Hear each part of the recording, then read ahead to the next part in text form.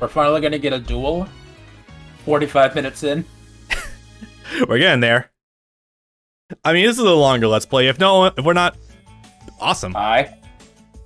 Anyway, so it's a bit of a running joke that um, you're gonna wake up and a character's gonna be talking to you. Of course, these are the ones that you have a max art heart with. Um, a lot of them say the door was just open. Some of them break in deliberately, Sherry. but uh, Yep. otherwise, it's just kind of funny to think about. Looking for Jack. Oh boy. Oh yeah, they have jobs now, and Jack is a fucking idiot now. And Crow has to be the one to keep him in line. it's funny and also a little bit sad because you think that the former top fucking idol of idol like celebrity of the city would be able to get jobs easily as even just like appearance gigs but no like he can't hold down shit. It's like did we all just suffer amnesia? What the hell happened here? So the thing with that is that a lot of rewrites had to be made not because of the reasons you're thinking, but because originally 5Ds was, was only planned to end at Dark Signers 64 episodes in, but that was one, some of the highest ratings that Yu-Gi-Oh! ever got, so they had to keep it going. And that was why they had 30 episodes of filler before the before the World Racing Grand Prix started because they needed some buffer time to actually write a real plot. yeah i can i can definitely believe that because oopsie we accidentally made the single best arc in the in Yu-Gi-Oh anime since Orichalcos probably yeah i think Yeah. it's i think it's not much of a stretch to say Yes. All right, so one thing we gotta say: do not do not immediately enter the area where you're gonna be having an event with your partner. As soon as you do that, you start the duel. And here's the thing: you can't change the deck you have when you go into there on beforehand. So you want to change your deck before.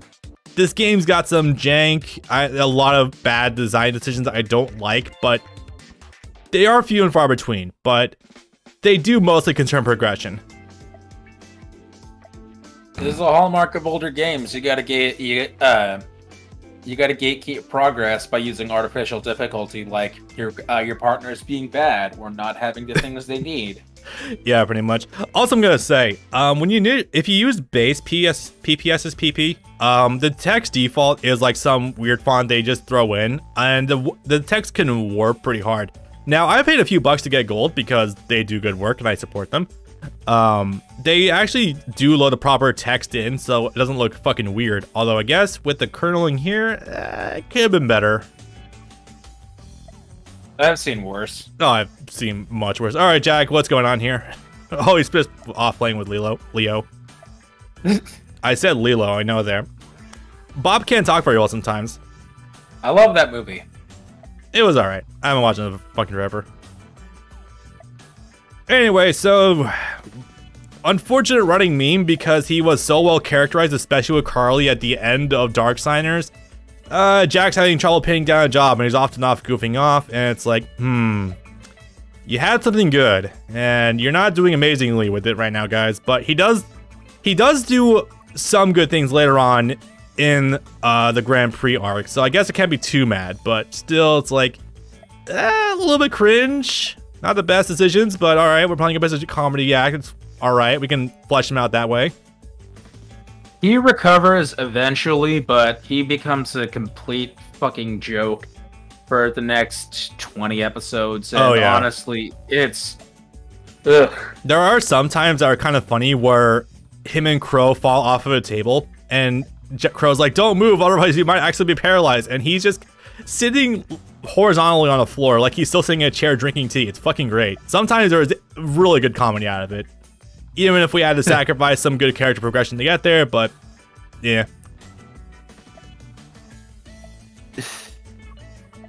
Anyway, yes. Unfortunately, guys, sorry. Sometimes these these uh exchanges can go a little bit long, so I will be keeping the text on screen for a certain period of time for everyone to read it if they want to, and we will talk. Of course, I've already done a full practice run. You've already destroyed this game before, obviously, so we'll have things to talk about, but we'll be fast forwarding for time's sake, you know. Yeah, honestly, I would set the game to pretty much always be at at least double speed because going double speed, walking around and whatnot, it doesn't really do anything. Yeah, pretty much. By the way, we I'll be keeping duels at regular speed for a little bit. But we will be going fast before long. Also, yes, the Crow model is very clean. Holy shit. Hey, you do run Mystic Plasma Zone. Honestly, Hell I have it yeah. in my deck too. It's pretty good. Also, not the animations for the background field spells are so good.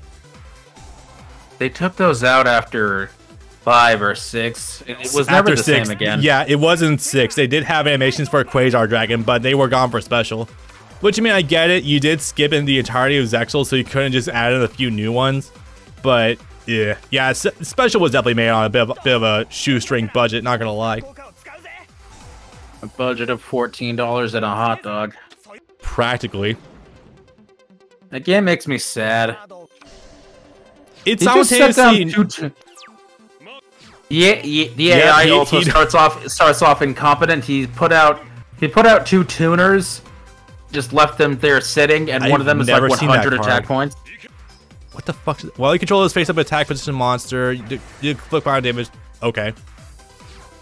Funny. Well, anyway, we've already won because um, hey, check out what I drew. All right, so here's one of the magical things about this. Oh, he set Book of. Did he set Book of Moon? No, uh, anti-reverse. That's a iffy card. So here's the one of fun things about this game. Uh, tag duels. Tag duels also recently got added to Master Duel. Funny that. Kind of digs this video a little bit. Um, tag duels are simultaneously really fun and also ultra annoying. It's unfortunate how much how much of a pain in the ass they can be. So on the one hand, they are super interactive and really warp how you play the game. Uh, let's add Shura and let's add Bora. I didn't realize those rhyme. Holy fuck. Classic combo. Yep. Yeah, we're just going right to Armor Master because I don't believe Jack has an out for Armor Master. I really doubt it. Actually, wait. Not we could, in the splittest. Wait, can we not? Oh, Va fucking Vayu can't be Gale. synchro summoned. out. Uh, can't synchro summon. out think. Uh, actually, I, was- for- I did forget we still have um Gale. Actually, we could probably almost OTK from here. Funny enough, almost. Not, nah, it's too much. Mm, I will set you. I will go to attack because this will do a good amount of damage. What do you do? That's fine. Wait. No, that's that's cool. It's fun. Whatever. Anyway, so shout out to this one time Bailey was mentioning in chat also that really threw me off my game is the fact that uh, Jack Atlas in subs also happens to be voiced by uh, who was it? Dragon Ball Z Yamcha, I think. Uh, let me check. I don't know offhand. There's one that he loves memeing a lot, but I don't believe it's the same one this time. All right, so we've. Oh, did we just open it? It's the fucking thought. No, I will get that battle protection.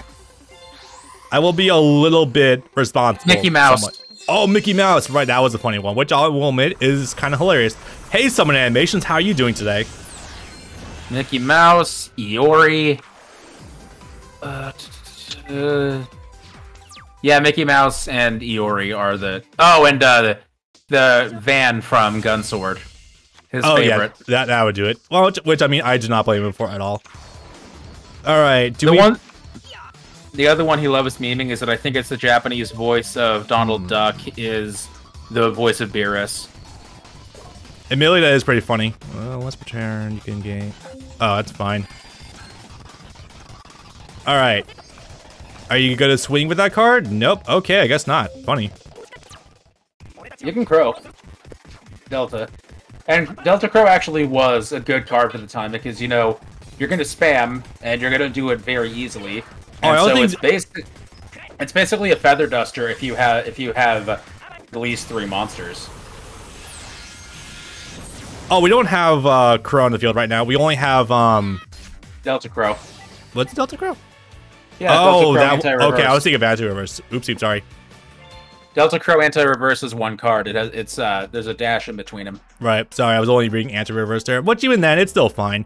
So again, that could be the fun part of t- of tag duels. Like sometimes it'll come to your turn, and your partner, if they're running similar cards, has already stepped the field for you, so you can just immediately go off king. But s- other times you can have really dumb AR partners who will tribute off your two summon synchro monsters for a blue eyes white dragon. Yes, this has happened to me before. God damn. Yeah, you gotta make sure you've got the AI set to being smart or on one of the good decks because they will screw up your plans if you're not coordinated. Yeah, I will say, um, it is kind of funny running a Magician Jack parallel to Yugi because he actually does synergize off of you pretty well in Tag Force Special. There are some times where it can be pretty fun, other times it's just like, eh. And another issue about the tag duels, namely in this time period, is that um, a lot of back row. Okay, back row stun is still seen as viable from Konami, and seen as healthy for the game. Um, a lot of back row yep. removal spells like MST, Heavy Storm are still still at one. So when you're fighting two stun decks at the same time, it can get kind of bad. I am not a fan. Yep.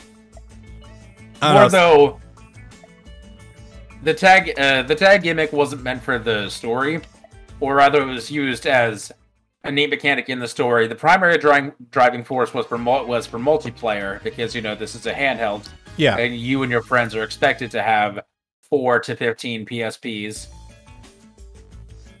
And I had the authentic, second one. That's kind of funny.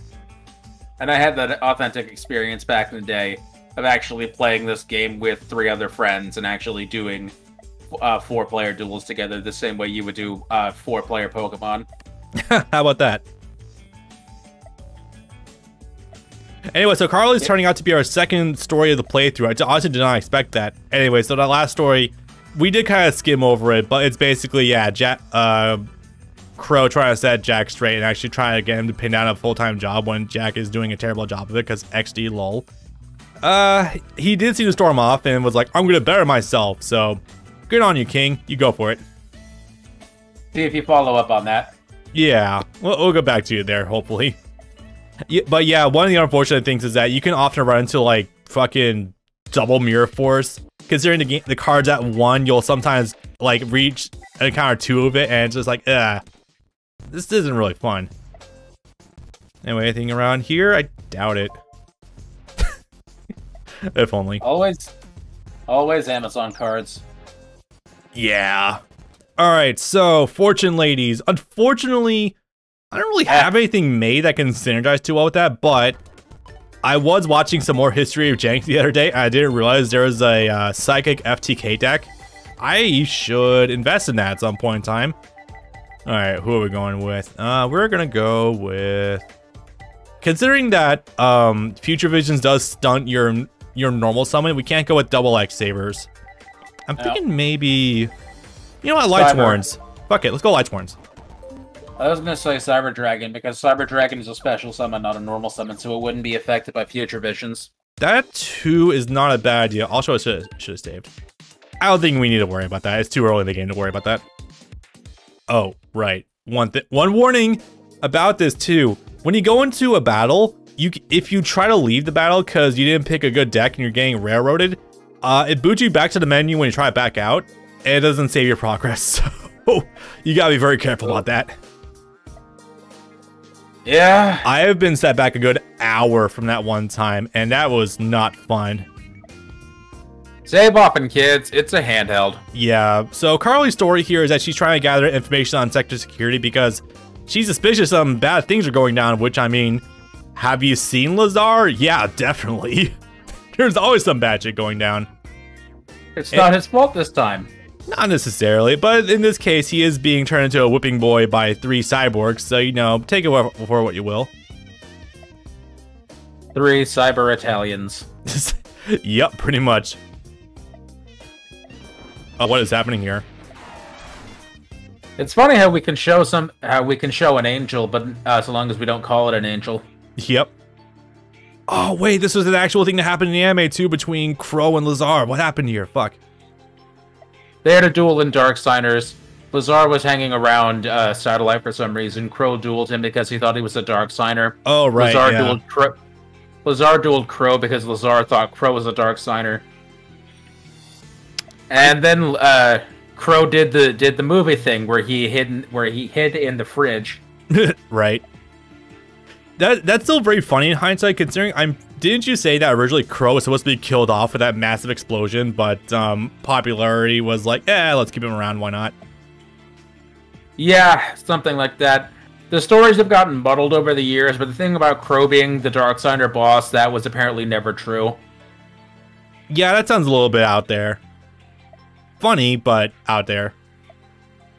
Him sticking around because of popularity, that is true. His role in the story was that he was meant to be a minor character in the end, not as important as he was. Yeah, but you know, you actually did create one of the more fleshed out, likable characters in the show with the iconic design, so you know. Oops. I don't remember if you find it out during 5Ds or if it's in his cameo in Arc 5, but you eventually find out that Lazar actually has a wife and a baby.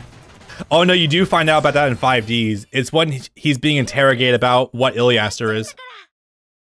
Ah. Anyway, worth pointing out that, yeah, her uh, Carly's chest is massive in this game.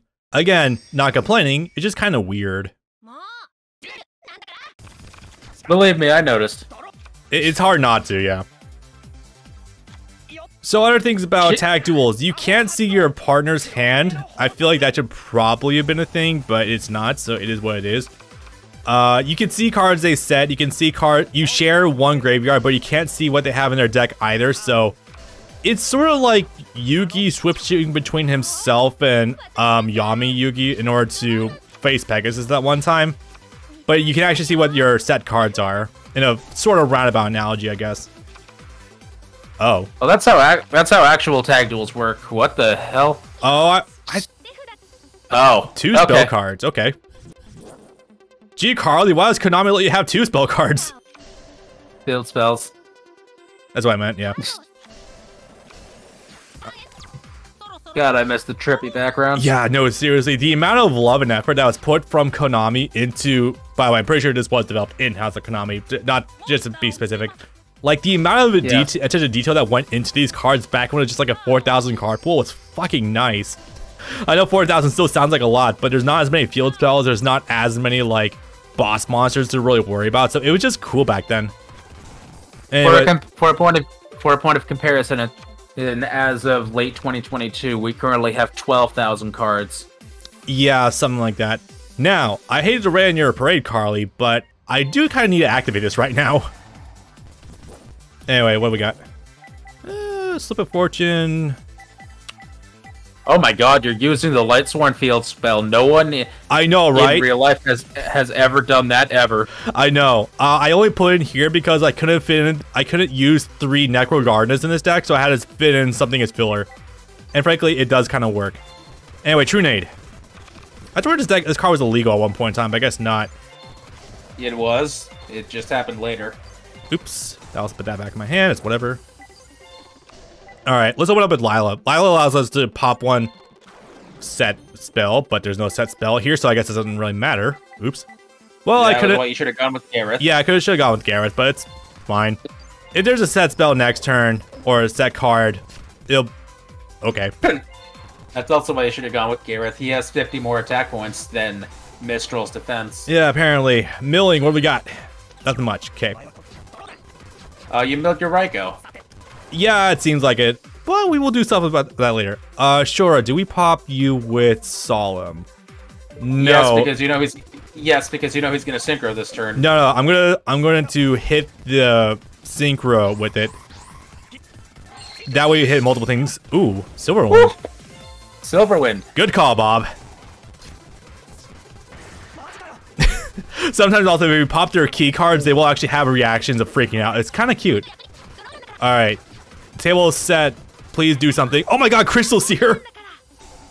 Yeah, that was a card. Ah, according to MBT, this was like the thing that glued together a bunch of jank decks back in 2010.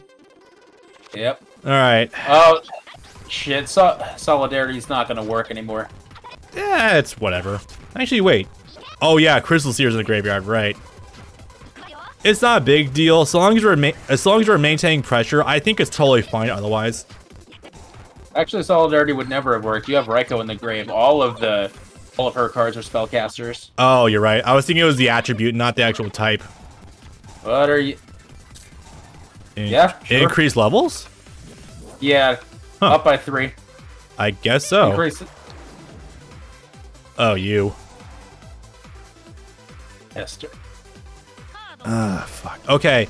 Yeah, Lazar's deck runs around Jester cards, and unfortunately they are pretty stun heavy, which is a slight pain in the ass, but it's not a horrible ordeal either. Oh, I didn't know they actually Ooh, nice. I didn't know they made other Jester cards. The only one I knew of was Jester Confit. Yeah, there's a couple. Um, nothing too radical though. All right, you know what? Yeah, we're gonna get out of the way so it doesn't get milled.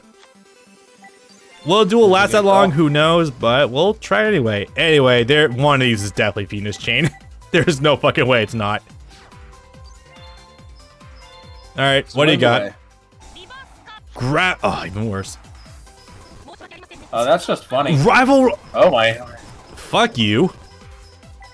All right. Well, hate to do this, but Um, mine are. Well, it doesn't matter.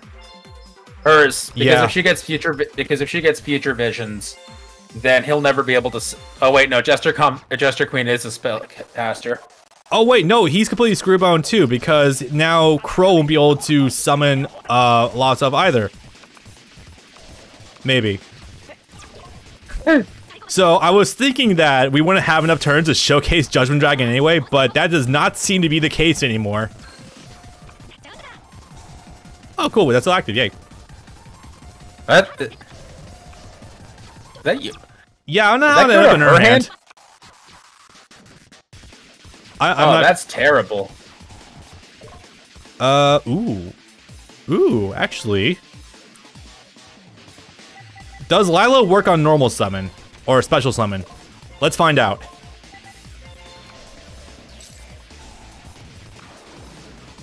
Please do.